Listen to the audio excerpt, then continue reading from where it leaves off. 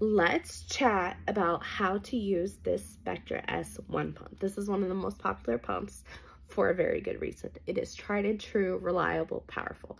So whatever you got going on in your life, whether that is just pumping occasionally, full-time pumping, exclusive pumping, maybe breastfeeding got off to a bad start, or you simply want to see how much milk you can make. Let's show you how to use the settings on this pump.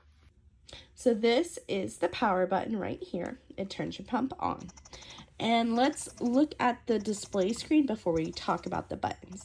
So this cycle button has a number right here. This cycle is telling you how many times this pump suctions per minute, so cycle per minute. The middle number is how long you've been pumping. And this little display right here is showing you the pattern of suction you have going on, what mode you're in. And then over here you have an L and then a number says vacuum. So this is your vacuum level. How high is that suction? And here above that is the battery status. Now, getting into the buttons, we have this little light button. It gives you a night light for your snacking sessions. Then this vacuum, this controls how high the pump suctions. So playing with it up and down. This pump does get up to level 12 and it does sound loud because I don't have my tubes in. So let me show you how loud it is when those tubes are in.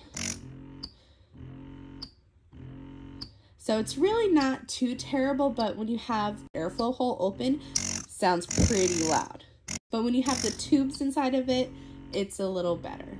Now, middle button. Many moms call this letdown button. So what that means when you hit it, you see that this number changed on the cycle. And let's try to change it. Uh, we can't change it. So it's programmed to be on cycle 70, which means it is suctioning 70 times in a minute. And then above that, we have the little bacon symbol to indicate that you are in letdown mode. So it is suctioning 70 times per minute, which is very fast, short versus suction. Also, when you are in this mode, you can only get up to level 5. It will not go higher. So instead of having 12 levels of suction in this mode, you only have the 5 levels of suction. Because the idea is to mimic a baby's latch, which predominantly when you are having a fast fluttering suckle with baby at the breast, it is short and fast. It's not short and fast and hard as far as suction goes. So we don't want to have it to be too much suction and fast because that can be damaging on the breast. Now, if we hit it again, it will take us out of that letdown mode. And now here we are just regular, we're in massage mode and you can change this the cycle setting.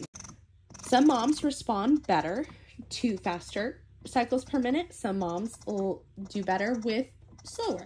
So this does get down to cycle 38 and it does go up to cycle 54 but then in the letdown mode it gets up to 70 so you have some control as far as suction levels cycle setting letdown mode night light power on power off.